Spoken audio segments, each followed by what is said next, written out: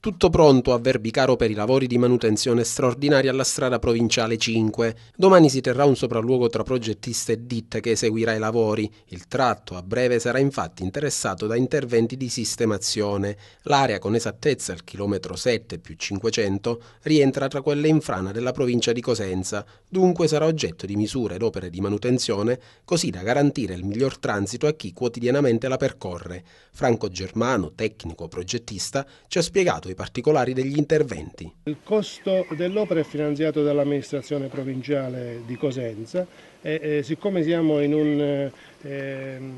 in un, luogo dove è in atto il dissesto idrogeologico, quindi il terreno qui a Verbicare è un terreno eh, particolare, ehm, eh, siccome sono degli argilloscisti, eh, per lo più sono argilloscisti che eh, con eh, il dilavarsi eh, con l'acqua piovana praticamente si deteriorano nel tempo e di conseguenza diventano eh, un, eh, diventa terreno, eh, eh, un terreno fragile e quindi eh, che crea problemi sia ai tratti viari come agli edifici presenti nel centro abitato di Verbicaro. E quindi cosa, una delle cose principali da fare è rimediare attraverso interventi di, ingegneria naturalistica, quindi fare, provvedere alla raccolta delle acque